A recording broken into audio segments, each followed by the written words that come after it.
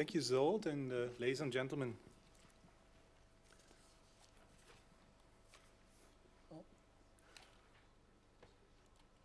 There we go.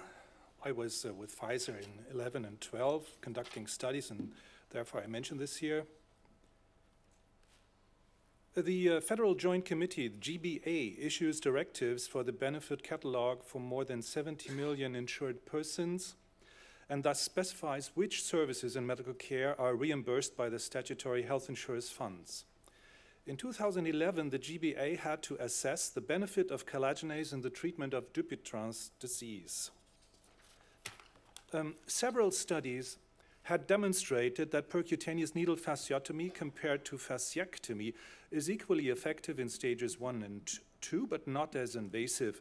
Therefore, the GBA postulated PNF to be the appropriate option in Tubiana stages one and two. Although this concept is certainly an oversimplification, we use this classification in a questionnaire to find out about the treatment options offered by German hand surgeons. We sent emails three times within the first quarter of this year to 530 members of the German Society for Surgery of the Hand, inviting them to participate in our internet-based questionnaire. The response rate was 20.8%, with 9,761 treatments representing 24.4% of the estimated 40,000 procedures being performed each year in Germany.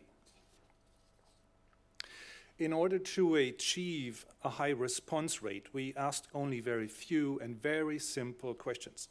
As I said before, we referred to Tubiana stages while asking for the favorite treatment option.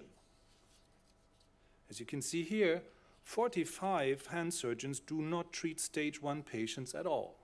Remember what Zolt told us. And still, nine surgeons stated that they would not treat in stage 2 yet. This, these results are also not surprising. Nearly all surgeons advocate open surgery for stage 3, indicating the reliability of the study. Interestingly, in stage 4, seven surgeons have treated options other than the ones proposed in this questionnaire, which we do not know, of course. What is the main criterion in your treatment decision? This was interesting to find out uh, about the motivations of these surgeons. And uh, while in stages one and two, the aspect low risk of complication has a certain importance, the strive for the best possible outcome is the most relevant criterion in stages three and four. This diagram illustrates that limited fasciectomy is the type of treatment that is recommended most frequently. The role of PNF is a lot less important even in stages one and two. This diagram is based on the same data, but helps to understand the predominant role of LF even better. Not all surgeons treat the same number of patients. This is the distribution of patient numbers ranging from 2 to 400 per surgeon and year. We have performed a second analysis of the data, increasing the influence of those surgeons performing more patients.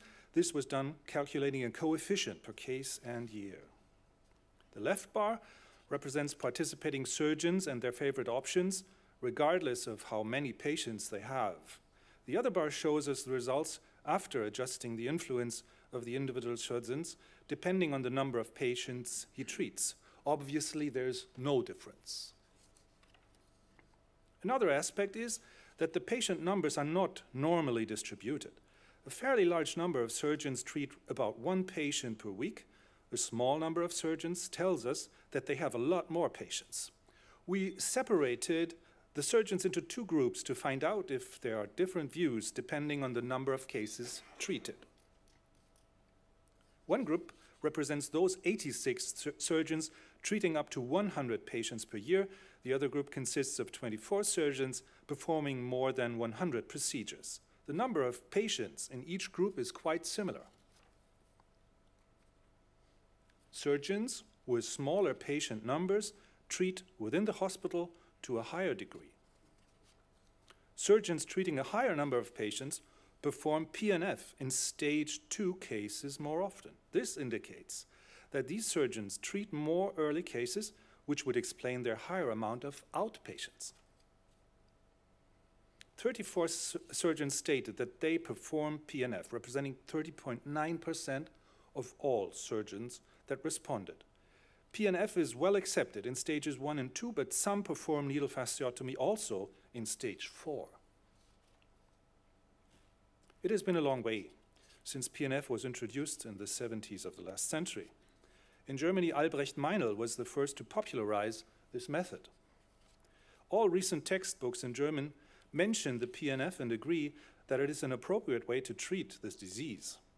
It can be confirmed, therefore, that PNF has an increasing importance in the treatment options among German hand surgeons.